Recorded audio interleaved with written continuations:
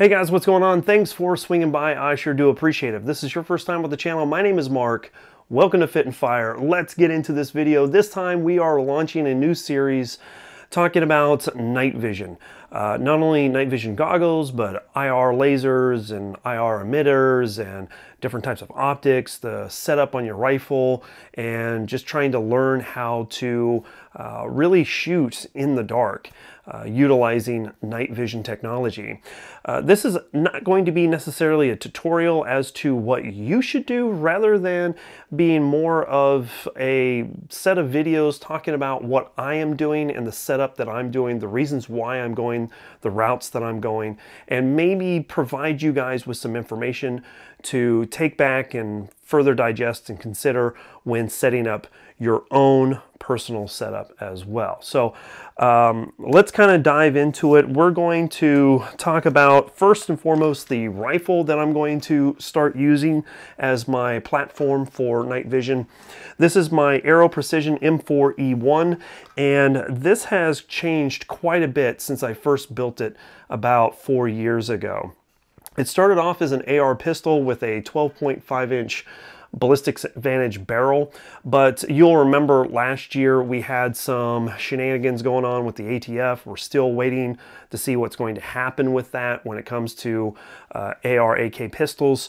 So I went ahead and decided um, I'm not going to deal with that anymore.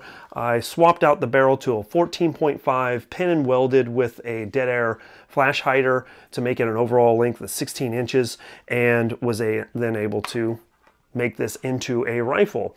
Uh, so this is uh, my current setup and I went with this on another level because in the area that I live in, I have the ability to be in an urban environment. I have a ability to be in a rural environment within just minutes.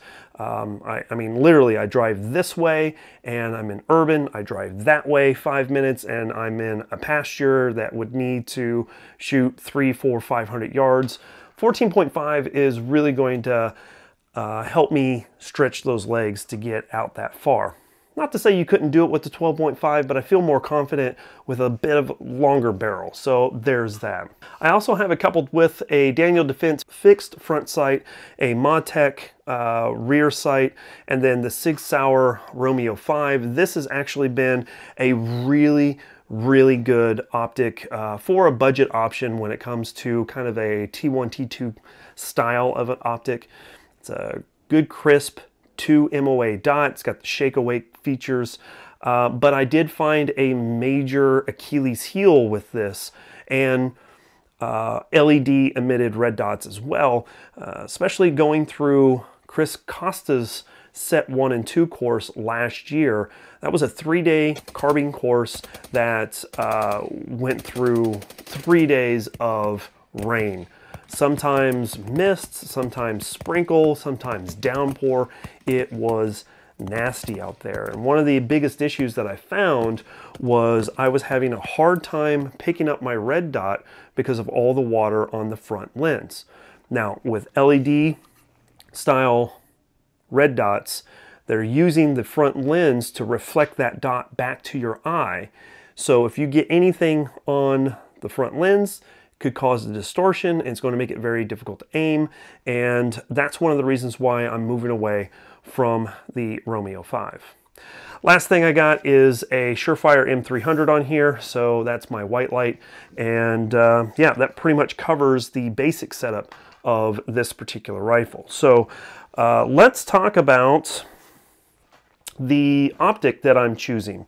And that's what this video is going to be about. Step one, setting up your rifle. And I think the probably the best place to start is deciding which optic that you're going to want to use. Naturally, you're going to want to find an optic that is going to allow you to um, passively aim with night vision goggles on. And the optic that I have chosen to do that is going to be the EOTech EXPS 3. Now, before we start talking about this real quick, I want to take a second to say a huge thank you to Combat Wombat. Uh, he's a good friend of mine from Instagram. Uh, we uh, play video games on Friday nights on occasion, and uh, I've really kind of leaned on him on occasion to ask him, you know, kind of what to do with this or what to do with that. He's got uh, a lot of great information on niche or nuanced weapons and stuff like that. And uh, he sent this optic to me and has decided to let me keep it. So that is pretty awesome. And it's been an optic that I've wanted to take a look at for a very, very long time. Now that I've had uh, a little bit of time to mess around with this, I've decided that this is going to be the optic that I uh, go ahead and move forward with in my night vision setup. We're going to talk about the reasons why, but I did want to take a moment to say a huge thank you to Wombat. Brother, I really appreciate it. Thank you so much.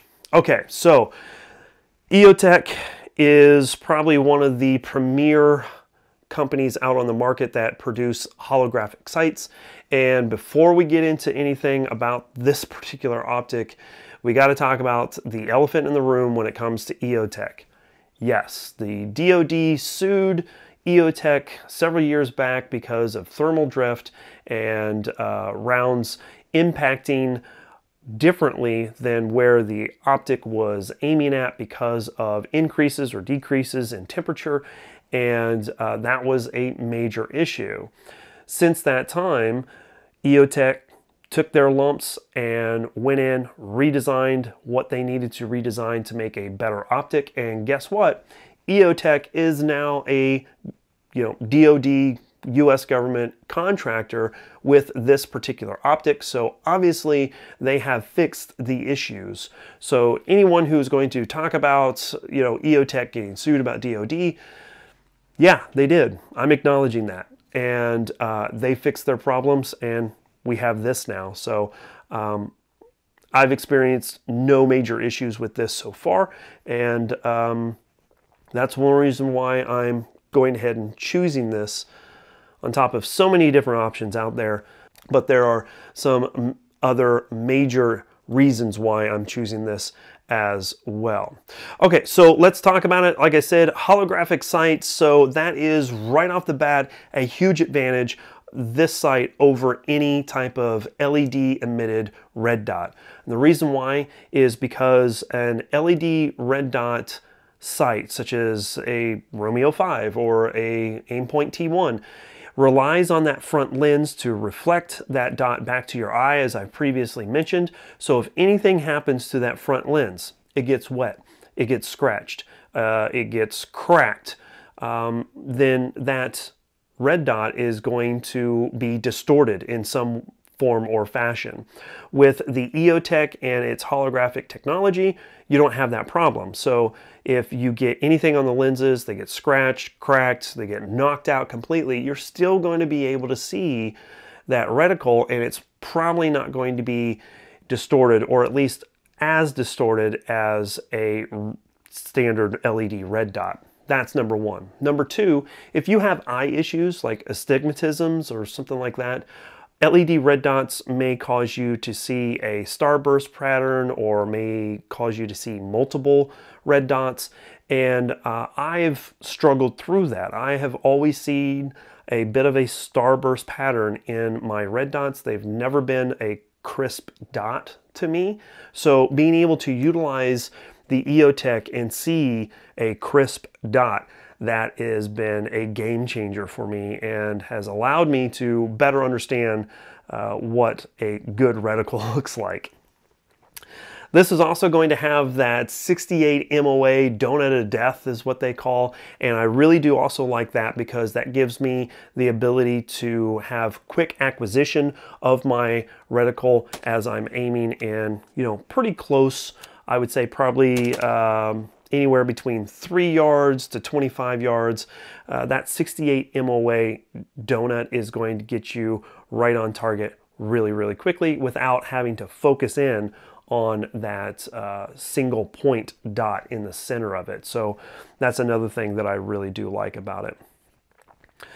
Another great aspect about this is going to be the objective lens. This is going to be far larger than the 20 MOA uh, objective lenses that you're going to fi find, say, like on the Romeo 5. So this is going to have a larger window for you to look through, find that reticle. In addition to that, if you're going to use this to passively aim through NVGs, you're also going to have a larger objective window to be able to look through that as well, utilizing a uh, night vision goggle. So that is another huge bonus.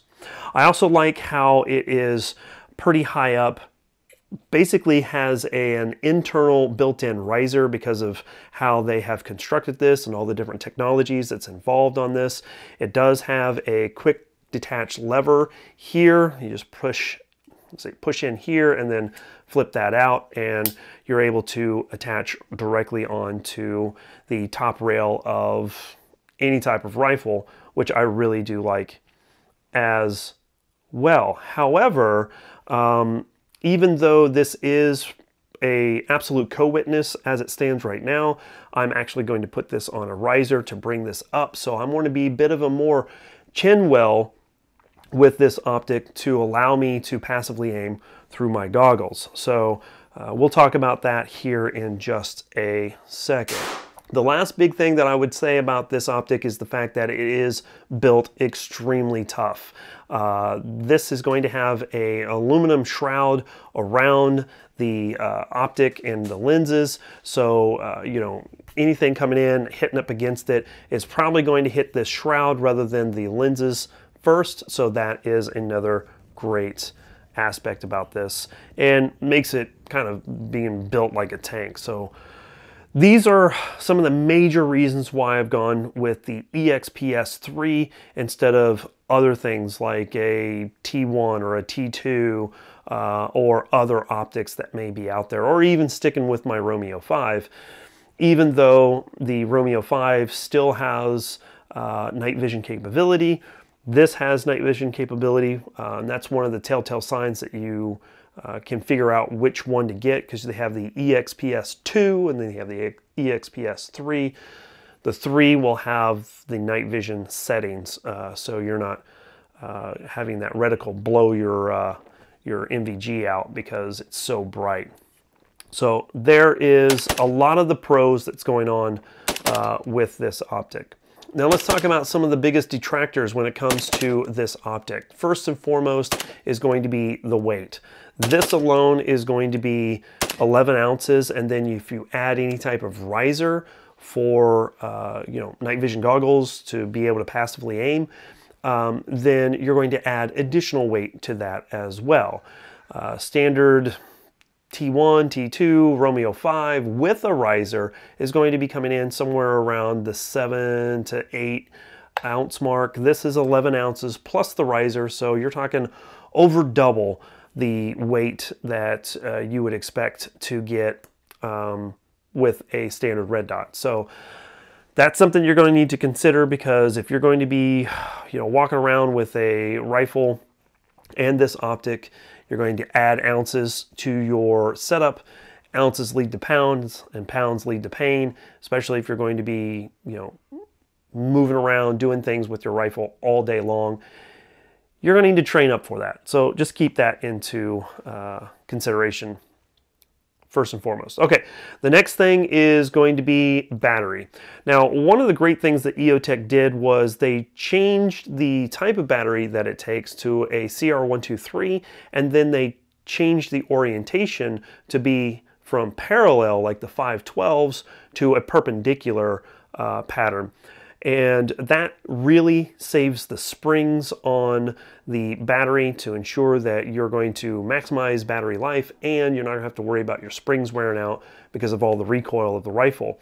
So that's good. However, the flip side of the coin is because of the holographic technology, battery life on this is going to be about a thousand hours depending on how much you use it, depending on the setting that you have it set on so on and so forth. That is, that's one of the areas that a lot of people are just like, you know what? No, I'm not going to do that. I've decided to go ahead and forego that aspect of it because I know that number one, I can turn off an optic if I need to. and I can turn it on really quick. Uh, so having a shorter battery life is not going to be that big of a deal. But also all of the pros that come with this optic ends up defeating the cons that I see that could cause me to have issues. Uh, so the battery life uh, being one of those issues, it's not going to be that big of an issue for me because realistically my night vision setup, my night vision rifle is not going to be the one that I'm defending my home with. So I really don't have to worry about having shake awake technology.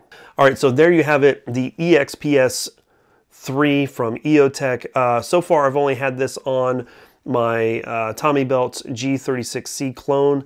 Uh, had a lot of fun shooting it from there, but I've decided that this is going to be, like I said, the night vision optic of choice. Now, what am I going to couple that with? That is going to be the Unity Tactical Riser. And this is going to really be uh, a cool little setup because not only um, will these pair well uh, with each other. But once I uh, set these set these up and have this riser on this optic, this is going to put me at 2.26 inches overall height.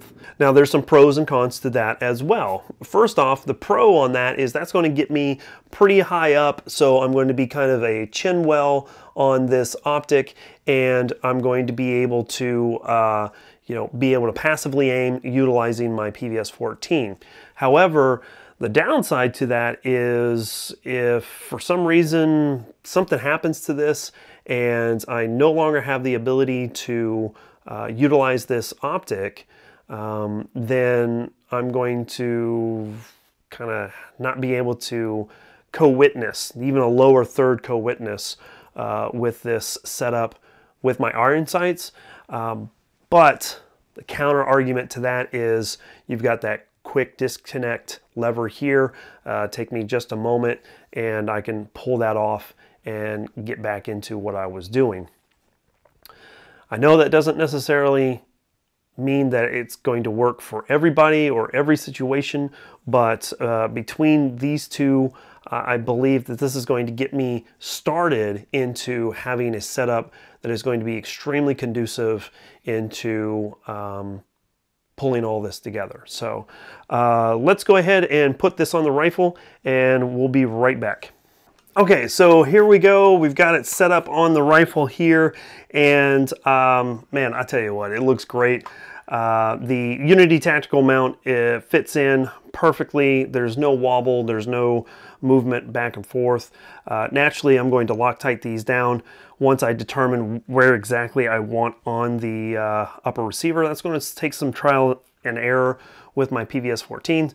And with the rail um, with the riser itself, uh, you're going to be able to move this optic further forward or some uh, a little bit further back if you want to, and I like that as well. It's also giving me a lot of space here, so if I wanted to do a um, you know, a magnifier, I could do that as well. So, you know, gives me a lot of options and still gives me plenty of room out here to put any type of uh, IR emitter or laser, um, you know, pressure pads, and so on and so forth.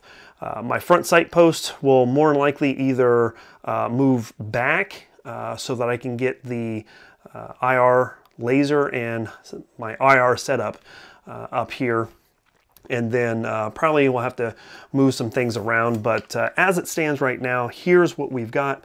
Like I mentioned, here is the aiming point for your rear sight. Not able to co-witness, can't even lower one third, but these will stay on here because like I said, I can just um, take that off just like that.